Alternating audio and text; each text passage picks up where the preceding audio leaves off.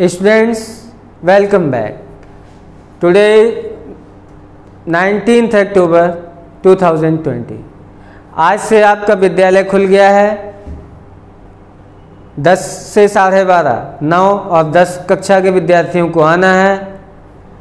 और दूसरी पाली में एक से चार ग्यारह और बारह के विद्यार्थियों को ही पढ़ना है।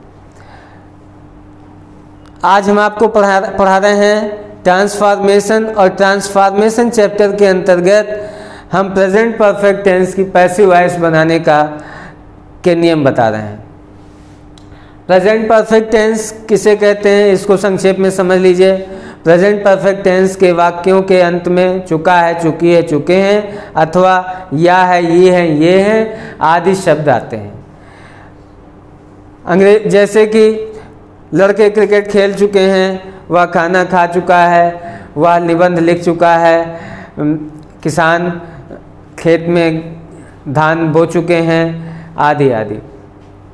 अंग्रेज़ी में इस टेंस के वाक्यों में यदि वाक्य अफर्मेटिव है, अर्थात साधारण वाक्य, उसमें नहीं शब्द नहीं आया है और कोई प्रश्न भी नहीं पूछा गया है। बल्कि कोई बात स्वीकार की गई है। ऐसा वाक्य अफर्मेटिव कहलाता है। जैसे कि लड़का निबंध लिख चुका है। तो अब द, इसमें क्या करते हैं अंग्रेज़ी के वाक्य में हम अफर्मेटिव सेंटेंस में सब्जेक्ट के बाद में हैज़ या हैव वर्ब की थर्ड फॉर्म ऑब्जेक्ट और अदर थिंग लिखते हैं। निगेटिव सेंटेंस में सब्जेक्ट के बाद में हैज़ नॉट या हैव नॉट वर्ब की थर्ड फॉर्म और ऑब्जेक्ट और अदर वर्ड लिखते हैं।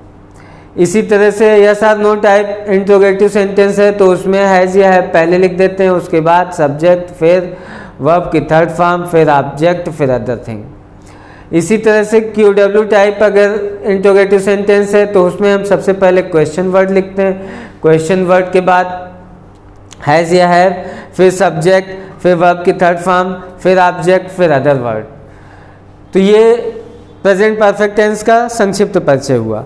अब प्रेजेंट परफेक्ट टेंस के वाक्यों का की हम पैसिव वॉइस कैसे बनाते हैं, इसको ध्यान दीजिए। अगर अफर्मेटिव सेंटेंस है तो न्यू सब्जेक्ट के बाद में हैज़ या have plus been plus verb की third form plus by plus new object यदि सेंटेंस नेगेटिव है तो न्यू सब्जेक्ट प्लस हैज़ या have plus not plus been plus verb की third form plus by plus new object. यदि दिया गया वाक्य yes or no answer type interrogative sentence है तो उसमें हैज़ या have plus new subject plus been plus verb की third form plus by plus new object लिखते हैं। यदि दिया गया sentence question word type interrogative sentence है तो क्यू डब्ल्यू हैज़ या have plus subject plus been plus verb की third form plus question mark question mark yes or no answer type में भी लगाएँगे।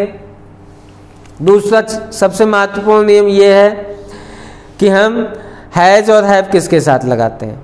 एक वचन सब्जेक्ट है ही शी इट या कोई भी एक नाम है तो उसके साथ हैज़ लगाते हैं। और बहुवचन सब्जेक्ट है, जैसे आई वी यू दे या एक से अधिक नाम या ऐसे, ऐसा कोई शब्द जिससे बहुत सारी चीज़ों का या व्यक्तियों का बोध होता हो। तो उसे बहुवचन सब्जेक्ट कहते हैं और बहुवचन सब्जेक्ट के साथ हैव का प्रयोग किया जाता है। हमेशा याद रखिए, एक वचन के साथ है बहुवचन के साथ है एक वचन के साथ हैज़ नाट बहुवचन के साथ हैव नाट एक वचन के साथ हैज़ नाट बीन बहुवचन के साथ have not been sentence example के लिए the boys have played the cricket लड़के क्रिकेट खेल चुके हैं। The cricket has been played by the boys अर्थात क्रिकेट लड़कों के द्वारा खेला जा चुका है। इसमें क्या परिवर्तन किया?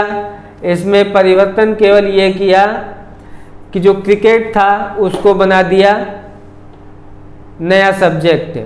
और जो बॉय था, उसको बना दिया ऑब्जेक्ट तो द क्रिकेट हैज़ उस न्यू सब्जेक्ट के बाद में हैज़, बीन, वर्ब थी प्ले, उसकी थर्ड फॉर्म लगा दिया, प्लेड, फिर बाई लगाया नियमानुसार, फिर न्यू सब्जेक्ट, ऑब्जेक्ट बन गया द बॉयज़। पैसिव वॉइस बन गया, the cricket has been played by the boys. दूसरा है, the farmers have not sown the wheat किसानों ने गेहूँ नहीं बोया है। तो द फार्मर्स सब्जेक्ट था, ये ऑब्जेक्ट बना दिया जाएगा, जैसा कि नियम है। पैसिव वाइज जब हम बनाते हैं तो दिए गए वाक्य के सब्जेक्ट को ऑब्जेक्ट बना देते हैं ऑब्जेक्ट को सब्जेक्ट बना देते हैं। अब वाक्य को सब्जेक्ट को ऑब्जेक्ट बनाने का मतलब कि हम सब्जेक्ट को अंत में लिख देते हैं। ऑब्जेक्ट अंत में लिखा जाता है। ऑब्जेक्ट बनाने का मतलब कि उसको अंत में लिख देते हैं। इसी तरह से ऑब्जेक्ट को सब्जेक्ट बनाने का अर्थ है कि हम ऑब्जेक्ट को सबसे पहले लिख देते हैं। सब क्योंकि सब्जेक्ट पहले लिखा जाता है। तो यहाँ पर the farmers have not sown the wheat का हो जाएगा passive as the wheat wheat अंत में था ऑब्जेक्ट था तो सबसे पहले लिख दिया सब्जेक्ट की जगह। द वीट उसके बाद वीट एक वचन है, इसलिए हैज़ लगा दिया। वीट हैज़ नॉट बीन क्योंकि ऊपर नाट था निगेटिव था तो नाट बीन वर्ब सो की थर्ड फॉर्म सोन बाय लगाया और जो न्यू ऑब्जेक्ट हमारा बना, वो फार्मर बना. तो बाय द फार्मर्स तो पैसिव वाइस बन गया the wheat has not been sown by the farmers गेहूँ किसानों के द्वारा नहीं बोया गया है. तीसरा active voice yes or no answer type interrogative sentence का है है सुरेश रिटेन एन ऐसे क्या सुरेश ने एक निबंध लिखा है? अब इसमें सब हेल्पिंग वर्ब है सबसे पहले है तो इससे ये क्लियर हो गया कि ये ऐसा no answer type interrogative sentence है। अब इसके लिए, इसकी पैसिव बनाने के लिए हम yes or no answer type interrogative sentence वाला रूल लगाएँगे स्ट्रक्चर लगाएँगे। तो रूल क्या है? कि पहले हैज़ लगा दीजिए, फिर हैज़ या है फिर न्यू सब्जेक्ट फिर बीन फिर वर्ब की थर्ड फॉर्म फिर बाई फिर न्यू ऑब्जेक्ट फिर क्वेश्चन मार्क तो हैज़ लिखा, एन ए से ऑब्जेक्ट था, इसको बनाया सब्जेक्ट हैज़ एन ए से, फिर बीन बीन के बाद वर्ब राइट की third form written, has N A से बीन रिटर्न बाई लगाया, हैज़ एन ए से बीन रिटर्न बाई फिर सुरेश। सुरेश सब्जेक्ट था, ये ऑब्जेक्ट बन गया।